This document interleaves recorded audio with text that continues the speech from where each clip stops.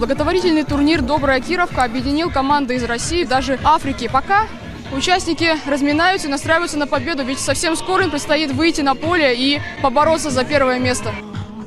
Восемь команд в этом году принимают участие. Разные страны, в том числе у нас есть и Польша, Африка, ну, которые ежегодные команды, различные. И наши местные организации принимают участие.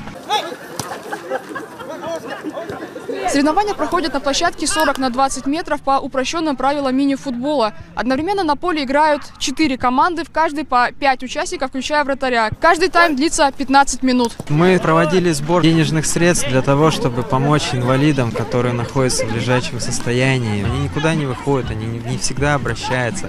Социальные службы помогают. Конечно, мы с ними взаимодействуем. Но на самом деле, когда показываешь бизнесу, что вот, ну, можно просто поиграть в футбол, получить удовольствие, и ты этим самым помогаешь людям, это очень здорово. Я надеюсь, что этого будет больше. Еще кто-то будет нашу, так сказать, эстафету принимать. Новосибирск славен добрыми делами. Все мероприятия, которые проходят в рамках недели добра, они показывают всем горожанам, что помогать это правильно, помогать это просто и призывают, смотря вот на таких вот героев, то каждый может это делать и подобными делами привлекать все больше и больше добрых новосибирцев вот в эти дела. В рамках акции «Неделя добра» принимают участие порядка 30 тысяч благополучателей. «Неделю добра» мы проводим дважды в год, то есть ну, порядка вот 60 тысяч человек вот получает.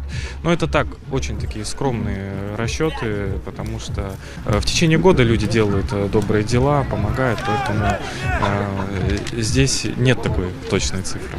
Команда-участницы турнира вносит благотворительный взнос. Все собранные средства пойдут на приобретение велотренажеров и противопролежных матрасов для нуждающихся жителей Кировского района.